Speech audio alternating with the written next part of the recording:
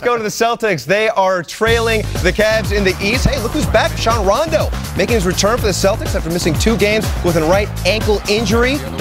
Look at Rajon. We going call, the way. We call that snatching someone's cookies. Oh, oh with Rondo. the dish to Leon Powe for the easy dunk. Sick. Four points, eight rebounds, eight assists in 29 minutes. Ray Allen right through the heart of the rim, a dozen points in the third quarter. He finished the game with 22. The Celtics start to pull away in the third.